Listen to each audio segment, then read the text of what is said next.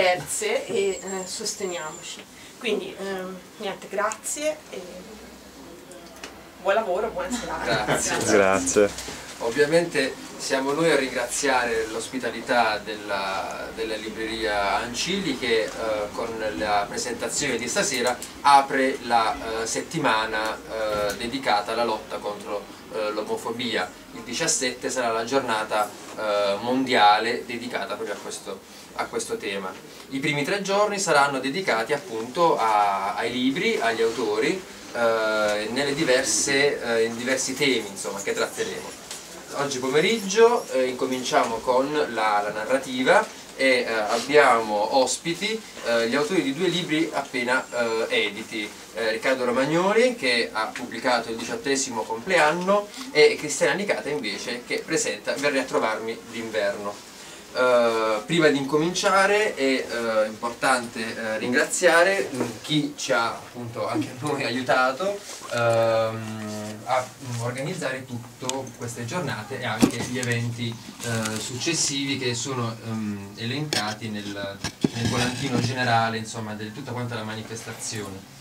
Dunque il, il- l'Arci di Siena, e in modo particolare eh, Serenella che ehm, si scusa di non essere eh, presente eh, qui stasera però sarà presente nei prossimi eventi e ci ha dato una- un grande aiuto e supporto. Poi l'Osservatorio Provinciale contro le discriminazioni di Siena, la provincia di Siena che comunque ha ritenuto opportuno eh, appunto sostenere eh, questo tipo di progetti e ehm, personalmente eh, voglio ringraziare eh, tutti diciamo, i ragazzi che eh, hanno aiutato la creazione di questo e di altri eventi, tutti i ragazzi del, del movimento pansessuale Arcigay di Siena eh, che con la loro opera insomma molto spesso nascosta, invisibile, eh, con il loro tempo eh, sottratto ad altro, eh, dedicano appunto a un progetto che è un qualcosa di più ampio e collettivo e in questi, di questi tempi credo che sia una cosa importante. Eh, dunque, eh, terminati i ringraziamenti doverosi, eh, passo la parola a eh, Silvia, che è una- la mia martire, e, no, eh, ehm, che mi ha aiutato appunto nella creazione di questi, di questi dialoghi, di questi incontri, e quindi lascio la parola subito a lei. Allora, i libri che andiamo a presentare sono, come abbiamo già detto, il diciottesimo compleanno di Riccardo Romagnoli, Transilvano Edizioni, che purtroppo non è eh, disponibile in vendita, ma sono previste delle ristampe a breve, quindi quando usciranno lo saprete. E, e poi Verrai a trovarmi d'inverno di Cristiana Licata, H Edizioni. I due romanzi sono abbastanza diversi l'uno dall'altro, penso anche per eh, forse anche per vedute, ma ne parleremo bene approfondendo in seguito. Intanto volevo fare una piccola introduzione sugli autori. Riccardo Romagnoli è eh, insegnante a Milano in un liceo e eh, fiorentino di nascita e questo è il suo romanzo d'esordio. Mentre Cristiana Licata non è un esordiente, è ingegnere, alla- ingegnere meccanico alla Fiat a Roma e militante nel Ahimè. Basta, insomma, queste sono le premesse necessarie per iniziare a parlare dei libri. Però io ripasso la parola a Francesco per una prima domanda. Dunque, sì, ehm, vorrei incominciare come eh, prima domanda rivolgendomi a, a Romagnoli in quanto eh, diciamo, si- affaccia al mondo, si è affacciato al mondo della, della pubblicazione eh, con questo suo primo eh, testo eh, in modo molto molto molto particolare Eh, anche perché il, il romanzo appunto è una storia ehm, che definirei appunto non, eh, non scontata. Ecco, il libro eh, stupisce nella- nel corso della, della lettura. Però il- la, la prima domanda che credo sia una domanda d'obbligo, eh, nel senso ehm, si riferisce appunto sul- sull'esordio. Un esordio, eh, a differenza di, eh, di Cristiana, mh, vuol dire, che ha atteso un po' più di tempo prima di, eh, di nascere, ecco. E anche la questione della nascita è una questione ricorrente poi nel, nel romanzo. E, però ecco, il, um, come mai questa, come mai insomma, le cause che ti hanno portato a decidere di uh, pubblicare, di uh, fare in modo che questo tuo scritto diventi di uh, dominio pubblico? Ecco. Eh, diciamo che non è stata una mia decisione di non pubblicare prima,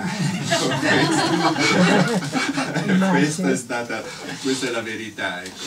Ehm, diciamo, io sono stato scoperto da Antonio Moresco, eh, questo scrittore che io ritengo che sia uno dei più grossi degli italiani viventi e lui ha avuto una parabola un po' simile alla mia, non perché poi speri di poter diventare anch'io il migliore insomma, del, degli italiani viventi, però ha avuto una parabola simile alla mia e quindi forse anche per questo poi mi ha scoperto e mi ha permesso di pubblicare. Cioè Moresco ha uh, cominciato a pubblicare dopo 15 anni dal momento in cui aveva iniziato a scrivere e ha iniziato a pubblicare quando ormai non ci sperava più mm. e ha cominciato comunque con case editrici di notevole livello, con Bollati Boringhieri, poi eccetera, è andato eh, con tutte le altre case editrici. Quindi è stato lui che eh, a un certo punto a cui mi sono rivolto e che ha detto no, devi pubblicare, è arrivato il momento insomma, di pubblicare, quindi è grazie a lui. Mm.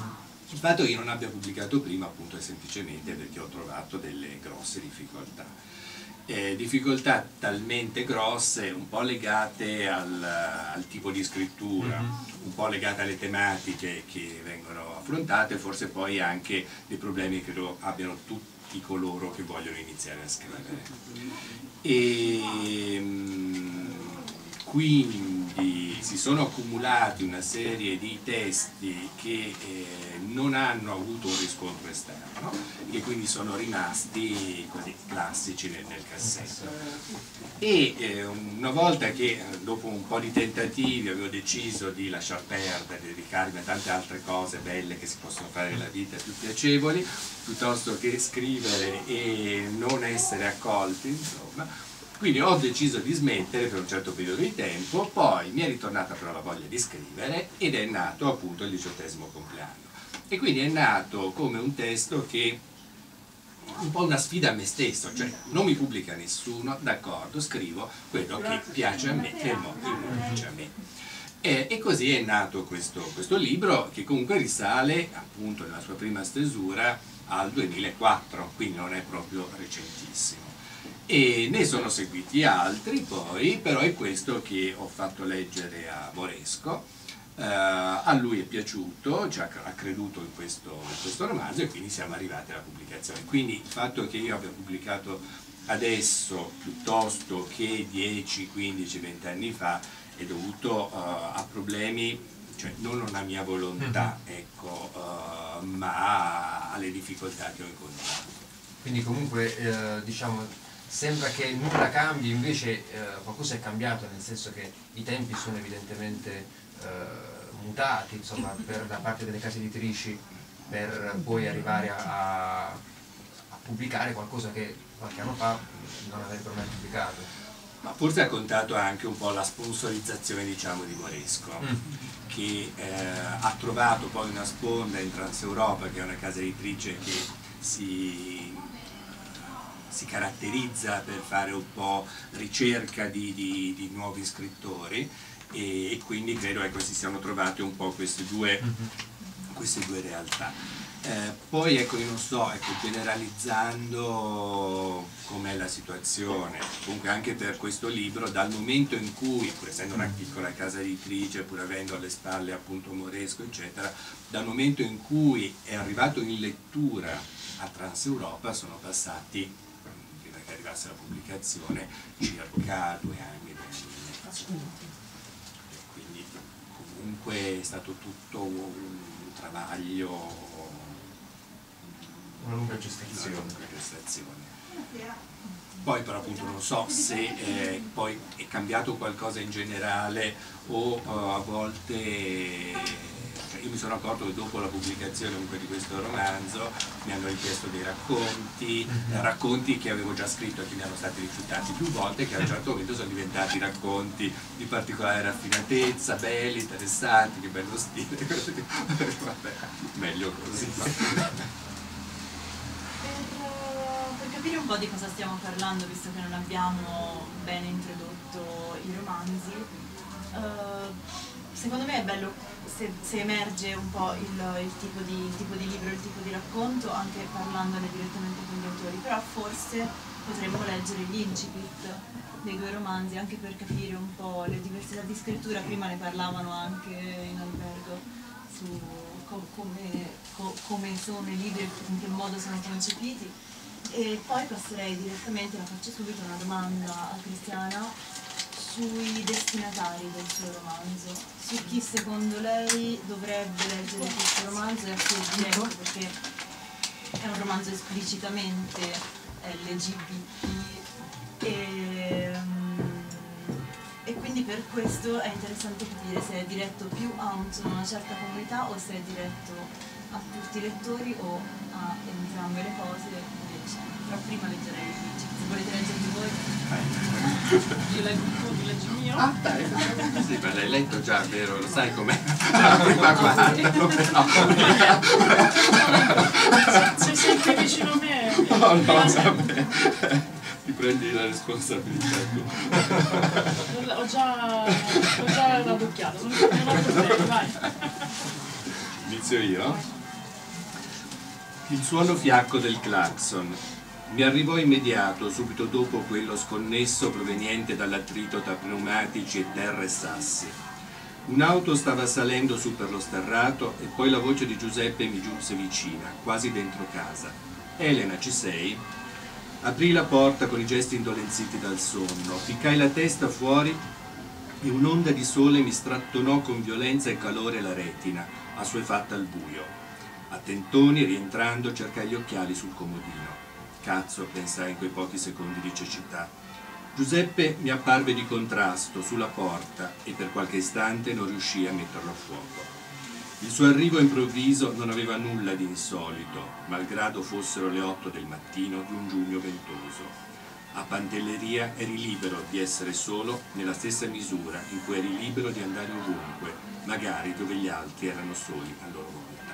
Ma davanti loro. 15 minuti. Appena, no, arrivo c'è una... Arrivi e partenze erano continue correzioni sulle pinne, poi c'è uno stacco, mi penso Piscio e mangio così io penso e fotto, mi spurgo e sbadiglio, come fossi un gibbone reale e una pulce d'acqua bestemmia. Tre ore mancano e avrò i miei anni nel numero dei 18, maggiorenne responsabile per il mondo e per Luciano e Anna Sormi che sono i miei genitori. Io rispetto le leggi, in nient'altro mi scovo se non in un corpo che segue la gravità e cade. Da un momento qualsiasi della mia vita ho sentito storie né vere né false riempirmi i polmoni di sangue di aria. Ho respirato a fondo e ho provato piacere a dire che sono libero, ma non so la differenza tra libertà e privazione. Come una pietra che scende, una piuma che nasce, il sesso che scatta, la mia parola. Conosco gli spazi di Roma, oltre i loro confini non c'è niente. Li, var li varcherò dopo, quando il macellaio di via nazionale mi chiamerà signore del cielo e della terra. I miei passi, misurate a millimetri piazze e vie di questa città, sapranno moltiplicarsi in chilometri che nella loro fine siano la mia fine. Sa di più chi sa di meno, dice Anna e preme sui denti le labbra rigide. Abbiamo visto due, sono due, due tipi di scrittura e due incipit estremamente diversi, però in realtà abbiamo individuato poi qualche cosa cui, su cui possiamo ragionare insieme. Intanto lascio la parola a Cristiana per... Allora, la domanda che mi hai fatto prima su chi è il destinatario di un libro, ah, per chi scrive non a comando, quindi senza un committente che ti dica scrivimi quel libro che parla di quell'argomento, in realtà la scrittura è, una, è, un fattore assolutamente intimo.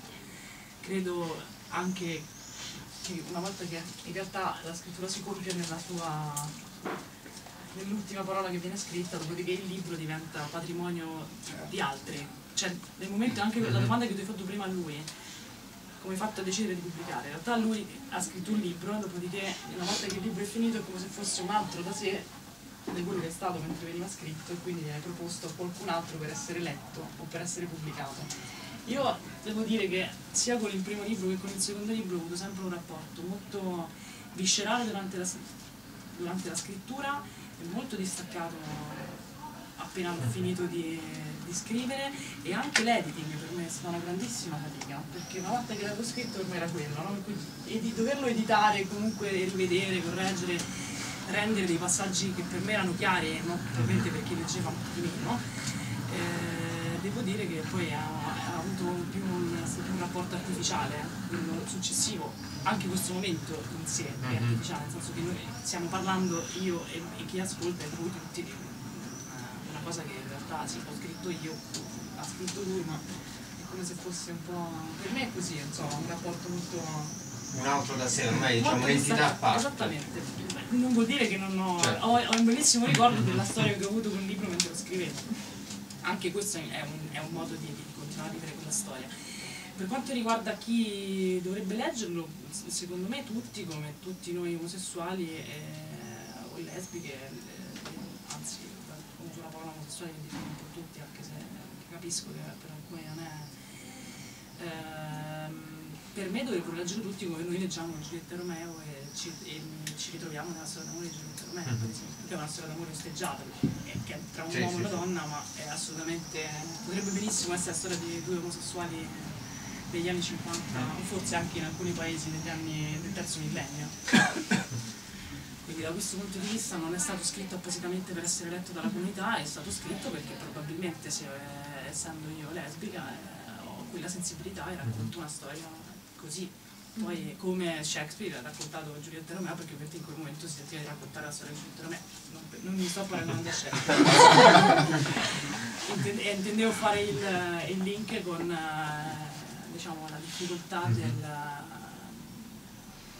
del, del, poter vivere l'amore la tragicità poi nel non poterlo vivere per, per, per eventi esterni. Mi è venuto un esempio così, ma potevo fare un esempio di qualsiasi altro tipo. Quindi facendo leva su quelli che sono punti in, in comune tra appunto, le vicende eh, della vita a livello sentimentale o di vissuto che vanno al di là insomma, della, di quello che potrebbe essere ehm, l'indirizzo verso cui il, il sentimento si, uh, si, manifesta, anche se ci sono poi delle caratteristiche che per questioni di, uh, di, di livello storico e di tempo ovviamente aggiungono un qualcosa a certe storie rispetto ad altre, non so se... Sì, sì, ma ti dico, secondo me la storia tra Elena e Viola è una storia che potrebbe benissimo essere la storia di due mhm. adolescenti qualunque, anche maschio e femmina, no? in cui c'è uno che ama di più e ama in modo assoluto, che quella è la sua storia d'amore dell'adolescenza e l'altra persona incontrata che in realtà sta solo facendo un tratto del suo percorso emotivo con te, ma in realtà eh, ha altre cose per la testa, non, tu non sei il suo tutto, no? Mhm. come nel caso di Viola cioè come nel caso di Elena per, nei confronti di Viola. E quello credo che sia una dinamica universale. Non è universale che Elena non racconti, eh, adesso vi sto dando delle anticipazioni, ma insomma è chiaro che ci sono due donne, che, due donne, due ragazze che, che si innamorano, questo amore non è, non è equilibrato in una certa forma e, e c'è dentro anche una caratterialità adolescenziale no? nel rapporto con i genitori, c'è anche una diversità generazionale dentro, anche una diversità di, di vivere le cose, eh, anche politica tra virgolette, sia nell'essere politico nella figura dei genitori di, di Anna e Mattia, e sia nel non essere politico come sono in fondo i nostri coetanei di oggi, no? sì, mentre sì, sì. all'epoca dei nostri genitori fare politica era una cosa fighissima, e quindi andava di moda, era bello, per noi oggi è quasi una, quasi una sfiga. Mm -hmm. Però ecco, Scusate se utilizzo questa storia di Elena e Viola pensavo anche al fatto che comunque nel romanzo entrano in campo quasi i rappresentanti della comunità LGBT perché comunque abbiamo oddio non dico il sì eh, la fisioterapista no la fisioterapista Liz no Liz me lo ricordavo mm -hmm. no l'amica la meccanica. La meccanica non me la ricordo neanche io. È, è, normale che non me la ricordo perché in realtà prima di venire qui io, io ho avuto una specie di giramento di testa e quindi. La trovo, adesso me la trovo. Claudio, tu te la ricordi? Io non me la ricordo. No, c'ho un. No, sì. Arrivi nel momento di vuoto. È normale, non vi preoccupate, questo fa parte della mia estranità al libro. Gina. Gina. Esatto. mi è venuto in mente senza trovarlo. Meglio. Esatto. Sì, ecco appunto, il discorso era un po' questo, comunque sono presenti diciamo quasi, tant'è che c'è il glossario alla fine, questo volevo dire. Sì, in realtà anche quella è stata una cosa un po' postuma. Mm, adesso per introdurre le persone che ascoltano, altrimenti non, non capiscono. Elena ha un incidente, eh, un incidente in moto mentre sta soffrendo, ehm, ti sei dimenticato il primo incipit che infatti ha un po', Ah, sì. che in realtà raccontava un po' quello che succedeva eh, poi nel, nel romanzo. E ha un incidente in questo momento in cui ha questo dolore così contratto e, e decide di andare a passare la, diciamo, la convalescenza e quindi a fare la fisioterapia a Pantelleria, dove incontra una transessuale che si occupa di lei e una fantastica meccanica di motori di nave che è una tipica che noi definiremmo butch, diciamo.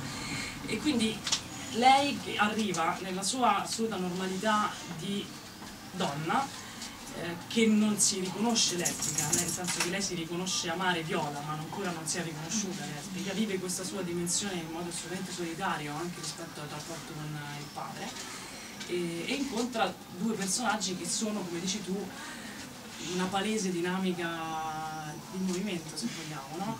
Ma è- stato tutto un caso, nel senso che questo- mi sembrava che la figura della transessuale in quel momento potesse rappresentare per lei la figura dell'accoglienza. Mi sembrava che questa figura di, di Butch che viveva serenamente la sua omosessualità a Pantelleria e soprattutto la sua fattezza maschile, coraggiosamente, in un posto assolutamente quasi improbabile no? per poter ospitare questi due personaggi, potessero essere un po' delle guide di, di ritrovo per Elena, no? che invece arrivava in modo indefinito a- ad accogliere Sì, la sì, propria- ancora incerto. Esatto.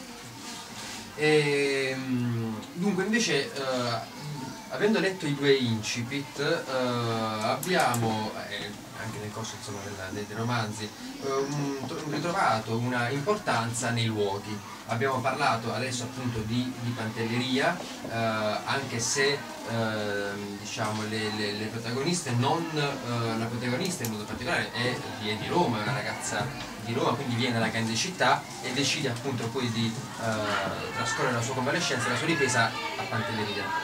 E Roma è presente anche, eh, e quindi abbiamo appunto la città e l'isola, mentre nel, nel romanzo eh, di Riccardo abbiamo eh, Roma, solo la città di Roma, che invece viene eh, affrontata in maniera eh, molto particolare. È una città che viene vissuta eh, fin nelle sue viscere e ha un'importanza che non è solo il luogo di, di- di sfondo eh, su cui si svolgono le, le azioni, insomma quello che, quello che accade, ma credo, almeno a me così è passo leggendo il romanzo, eh, è una presenza non indifferente. L'autore, appunto, il protagonista eh, si immerge nella, nella città di Roma, la esplora, la conosce, anche perché è un ragazzo non ancora appunto maggiorenne, quindi ha questo